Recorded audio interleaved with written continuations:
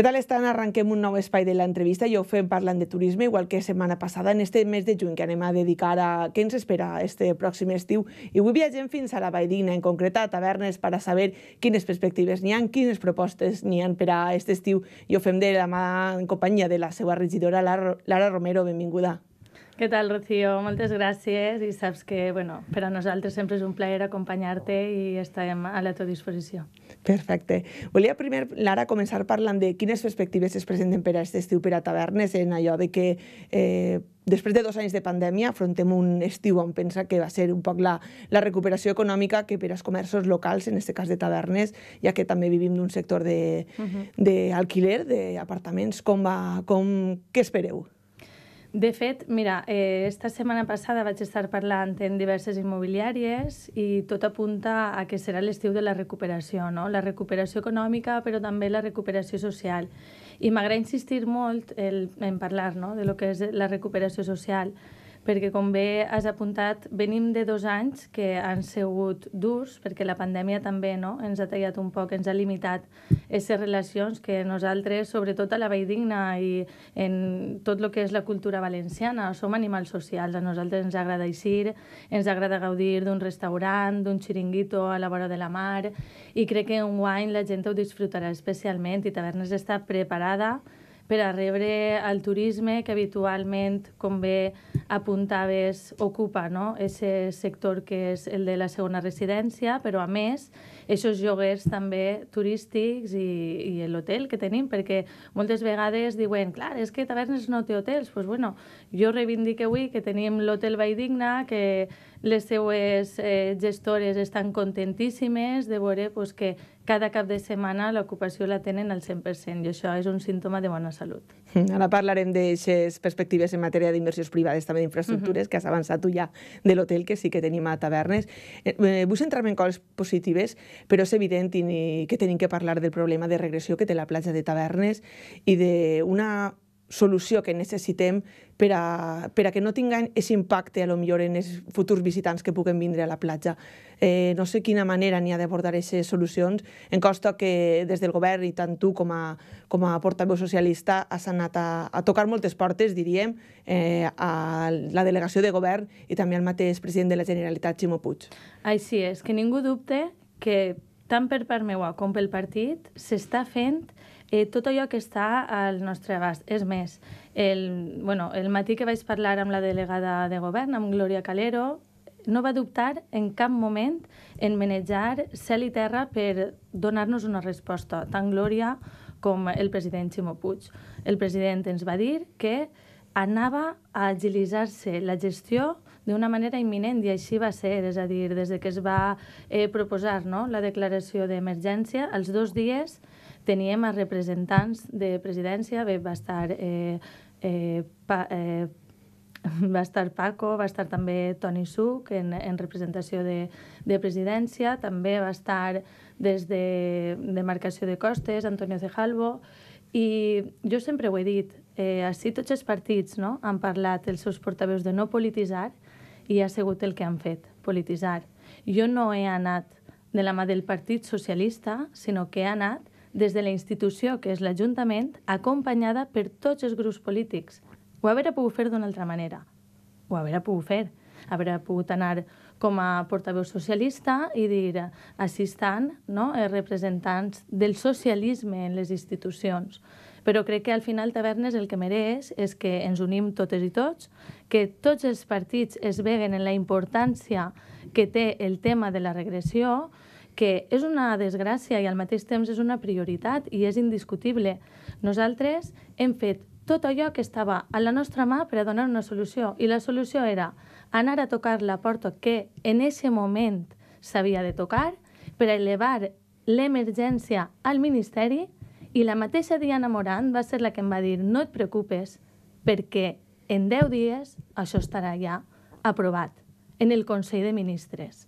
És a dir, Eh, fer soroll està bé, perquè s'ha de fer soroll, però les gestions són necessàries. Si no hi ha un telèfon, no hi ha un contacte i es fa en la diligència no? que, que el que és la circumstància determina, aleshores fallem. Fallem quan un grup, siga Compromís, siga Ciutadans o siga el Partit Popular, va eh, de manera unilateral, de manera individual, a vendre que nosaltres estem preocupats. A veure, estem preocupats totes i tots. Qui no està preocupat pel problema que tenim a la platja? Qui? Totes i tots, perquè al final estem parlant d'una regressió que també està condicionada pues, pels mals temporals no? que hem vingut acumulant i per un problema que al final, eh, bueno, el Antonio Cejalvo ens deia el cap de demarcació i costes així, i us diques no? que s'han format i que pues, bueno, eh, de manera estratègica ara la, el flux no? natural de sediments de nord a sud no el tenim com el teníem fa 20 anys. Això crea pues, que Tavernes no? està en un punt d'inflexió on s'ha format ahir com una cunya no? on la regressió, el punt més eh, pacadins, per dir-ho d'alguna manera, és Tavernes i després aquesta cunya s'inverteix cap a Gandia. En un costat tenim Cullera, al sud tenim Gandia i els sediments no fluïssin de la manera que haurien de fluir. Per tant, bueno, és una solució tirar arena, no és una solució a llarg plaç, però aquesta sedimentació s'ha d'omplir d'alguna manera, perquè mm. no la tenim. Aleshores, si mentrestant arriba una solució que és la que demanem, una solució on d'alguna manera no, es puga retindre l'arena a llarg plaç, es puga tallar d'alguna manera aquesta corrent, perquè al final l'orientació nord de la platja ens fa que, pues, això, no? que, que tinguem la problemàtica que, que tenim. Però bueno, crec que estem unint esforços, estem treballant, des del Ministeri ja està l'empresa adjudicatària eh, fent la redacció del projecte i esperem que d'ací no molt pues, eh, esa eh, actuació arribi i que siga més pronta que tard. Esperem que així siga i que anem tots de la mà, perdó, l'administració local, l'Ajuntament, tots els partits uh -huh. i tots els veïns i que hi hagi una solució pronta que al final és eh, pels interessos de tavernes el que, el que necessitem. Esa, Així és, i a mi m'agradaria reivindicar també que l'arena és domini públic.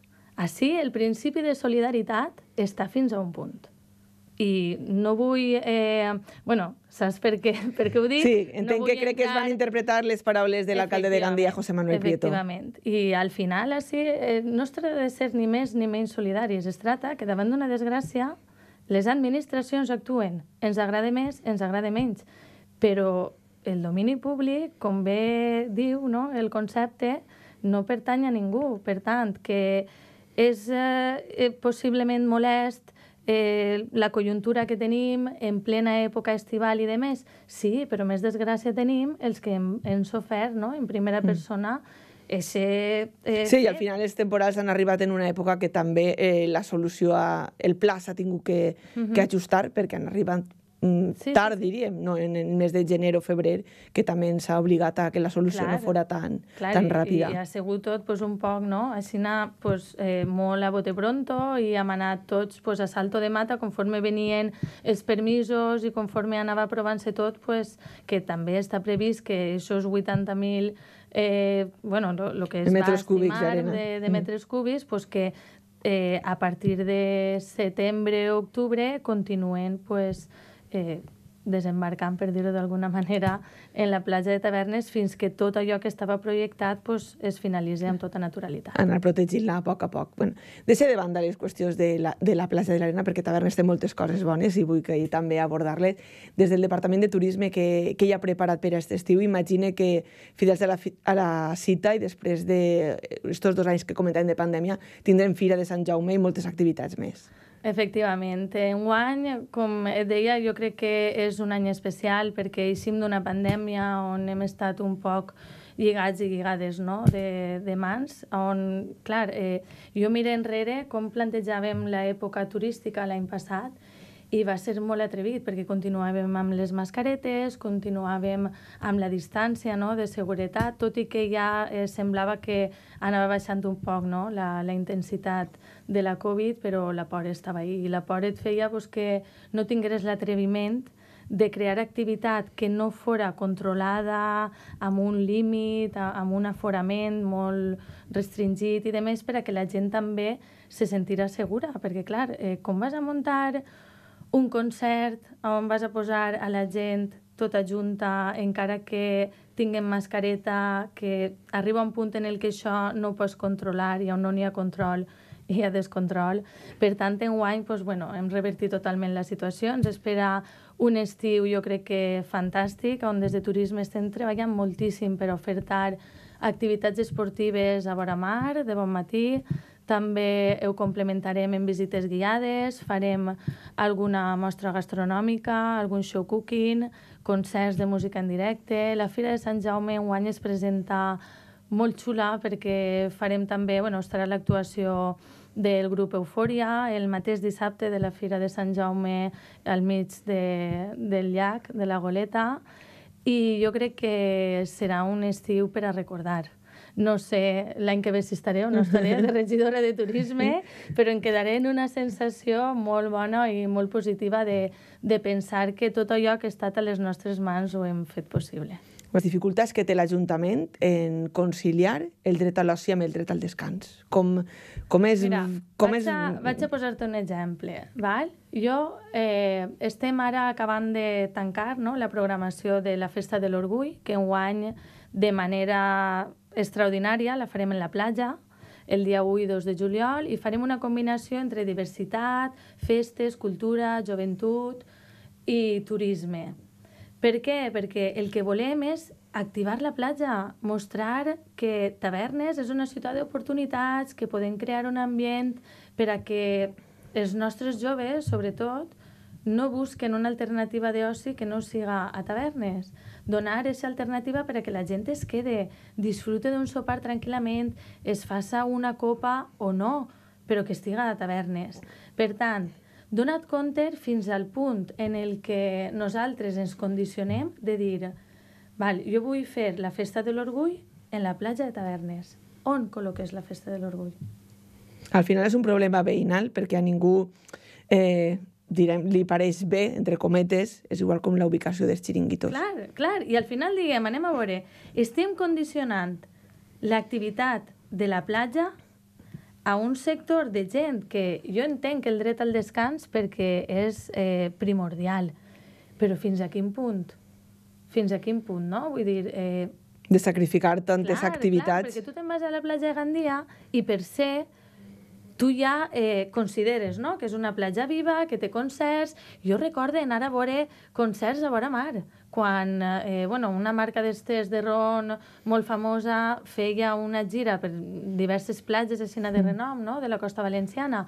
I jo recordo anar en 19 o 20 anys i estar fins a les 2 o les 3 del matí en l'arena, en música en directe, que ara dius, bueno, és que és impensable. Ara sí, ara pareix que és això no... És impensable, no? E-, és impensable per, per molts factors, val? que dins de lo que tu consideres que puga ser més o menys coherent, entenem.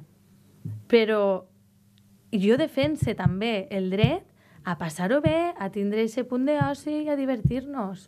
Perquè ara tenim una sentència. I aquesta hmm. sentència ja et diu que en un punt concret no pots... És que no és que no pugues fer soroll, és que tens una denúncia pel mig. És que empresaris que locals no han tingut ja... que reinventar-se, diríem, claro. per a passar la festa de vesprada, a, de, de la nit a la vesprada. Així Això ens ha condicionat ja fins a aquest punt. Sí, sí, perquè jo ara a la festa de l'orgull pues no el dic que no m'agradaria posar a lo millor un DJ per a la gent jove fins a les 3 de la matinada, i no puc. No puc, o, bueno, pues has de tirar d'ordenança, de permisos, parlar en policia i dir, bueno, pues anem a intentar fer-ho una vegada, encara que siga en tot el mes. Però mentre tu, a nivell local, estàs eh, sofrint no? el, el malestar este veïnal, després veus com en altres ciutats tot val. Mm. I estem lluitant, no?, e, en això. Clar, al final, si tu no presentes alternatives d'oci, la gent se'n va a les altres ciutats que sí que, que, sí que les tenen. Clar, i acabem siguent el dormitori, parlant clar, de Gandia, de Xeraco i de Cullera. I venim, venim així a dormir, a tavernes. No, tavernes té molt. Té molt, s'ha de potenciar i si des de l'Ajuntament podem crear aquest ventall no? d'oportunitats d'oci, que no dubten que anem a fer-ho. Mm, així és. Per aquesta banda, aquest ventall que dius de les oportunitats d'oci, però per l'altra banda, Eh, has parlat al principi d'aixòs allotjaments que tenim en tavernes. Què li fa falta a, a tavernes per a que la iniciativa privada decidisca eh, invertir en la platja. Eh, crear un, un hotel de major dimensió o apostar pels canvis que estan ara molt de moda. Algo, eh, ja que has comentat abans, has nomenat abans a Diana Morant, que sé que sou bones amigues, ella sempre dia sí en dia, quan era alcaldessa, els ajuntaments tenen que fer que les coses bones passen. En aquest cas, què necessita fer tavernes per a que això també ens arribi? Efectivament. Mira, seria atrevit per la meva part dir que fan falta ganes però jo crec que, a més de les ganes, fa falta ganes, il·lusió, creure en un projecte de ciutat grandíssim, perquè Tavernes té oportunitats, Tavernes té moltes possibilitats i fa falta eixir i vendre tavernes com mai s'ha venut abans. Jo estic deixant-me la pell per fer-ho i crec que estem arribant a molts sectors, però eh, pues bueno, eh, possiblement el que necessitem és tindre molta més força, tindre moltes més ganes, il·lusionar-nos i no fa falta dir que Tavernes és un punt idíl·lic per a la gent que vivim a Tavernes. Perquè... Tenim mar, tenim muntanya...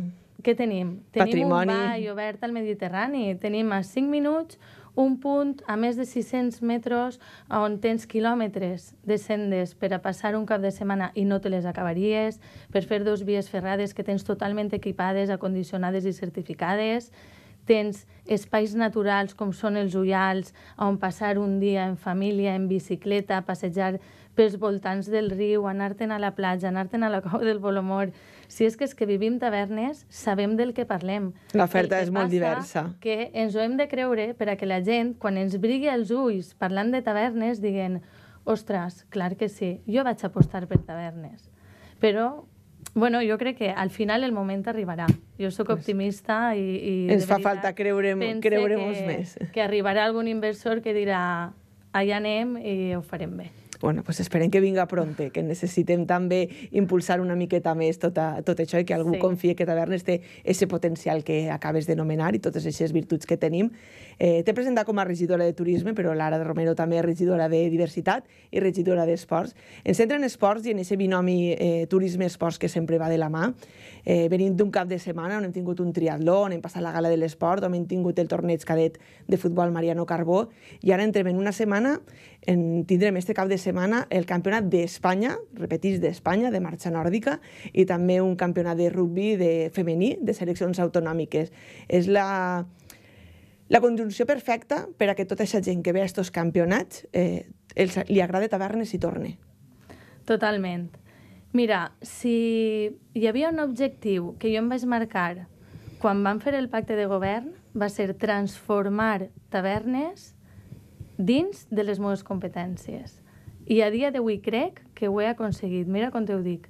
Perquè no s'havia donat mai la situació, no que hi haguera un campionat d'Espanya, sinó que Tavernes obri les portes als competidors nacionals i internacionals, perquè vindran marxadors també italians, eh, d'altres zones d'Europa, i això és per aplaudir-ho. No és per mèrit meu, i ho dic i ho diré sempre, però sí que és cert que les ganes i la il·lusió fan molt creure's no? que Tavernes té possibilitats, les té, i per què no?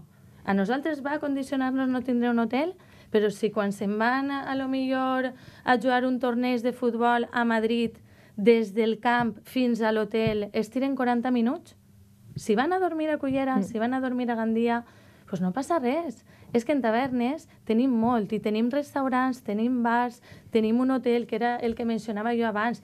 Este hotel no té habitacions ni per a la setmana que ve, ni les tenia la setmana passada, ni les tindrà en molts mesos, perquè està a tope.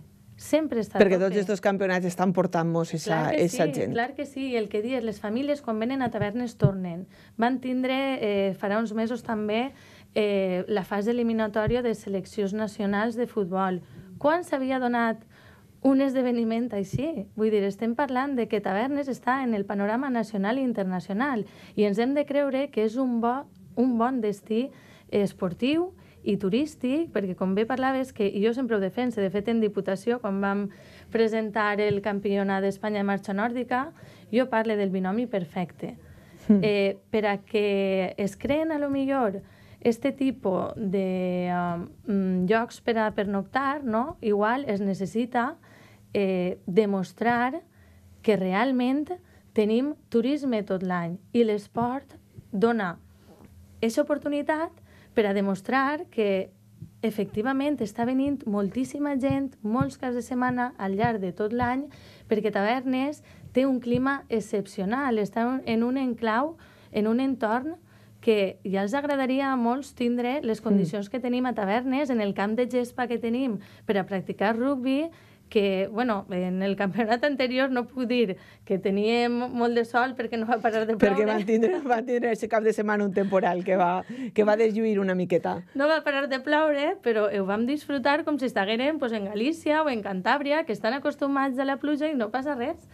Però a més així pues, tenim un clima excepcional, tenim un sol esplèndid que ens acompanya pràcticament els 365 dies de l'any i són motius suficients no? per a eh, creure'ns que, que sí, que hem treballat molt, que s'ha treballat molt des dels clubs esportius, tant el centre excursionista com Ramon Álvarez, que a mi m'agrada molt parlar d'ell perquè és un ambaixador com pocs, parla de tavernes i li s'il·lumina la mirada, no? Això també. es fa falta també. Que... I, I quan ens creguem realment no? I, i venem el lloc tan preciós del que som, no? de, del que venim i on hem nascut i on ens hem criat, al final això fa que la gent crega en tavernes com a un destí espectacular per a passar un cap de setmana, una setmana, dues setmanes o, o la vida.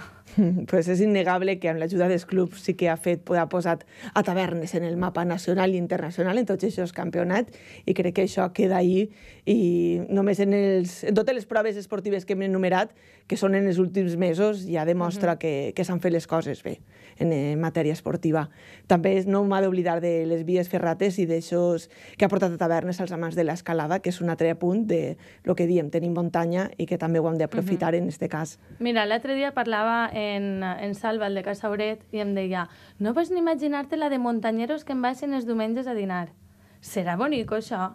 Tindre restaurants plens i que la gent vinga i que torne i que al final vos dius, ostres, hem posicionat també a tavernes com a un destí d'esport de muntanya.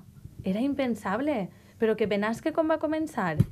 Fa 20 anys a veure, no, no tenim Benasque ni... No tenim, tenim neu, però tenim... Però tenim un entorn espectacular, en un enclau idíl·lic per a gaudir de la muntanya, a pocs metres de la platja i per a passar un cap de setmana que no t'avorriries de caminar i de disfrutar del paisatge. Te supos que sí.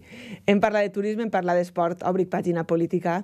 Eh, fa un poc més d'un mes eh, l'anomenaven secretària general de socialistes de tavernes. Això marca el camí per a ser la candidata a l'alcaldia l'any que ve, per primera volta. Sé que falta molt de temps i direm mm, tenim tenim 11 mesos per a parlar de, per a parlar de campanya electoral, però és cert que m'imagine que ara ja estan treballant des del PSP Ventavernes i l'objectiu principal imagine que serà mm, intentar augmentar aquesta presència de dos regidors que tenen ara en la corporació municipal. Sí, així és. A veure, si jo hauria de resumir el conforme em trobo jo ara, no, en la sintonia en el meu partit, la paraula és il·lusionada.